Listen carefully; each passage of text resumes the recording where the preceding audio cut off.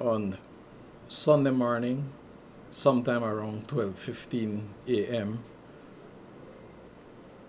a report was made to Benqueviejo police by telephone that some male persons in a vehicle were causing disturbance at a nightclub in Benqueviejo town.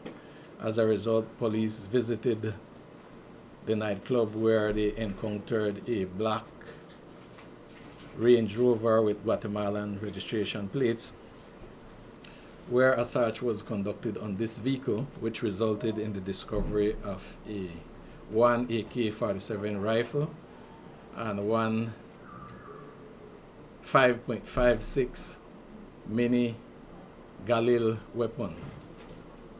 Also found were 47 rounds of 7.62 ammunition and 14 5.56 rounds of ammunition.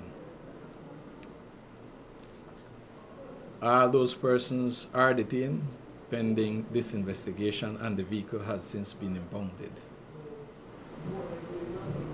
Did these people, do you believe they crossed the border with the weapons or retrieved them in these?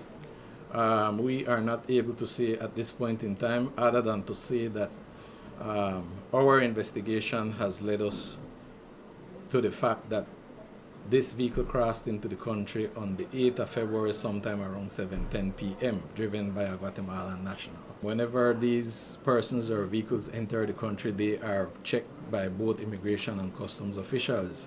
Whenever you are bringing a vehicle into the country, um, their procedure applies, which is that there has to be some registration for the vehicle, and the second um, issue to that is that in some instances searches are conducted on these vehicles by the customs department.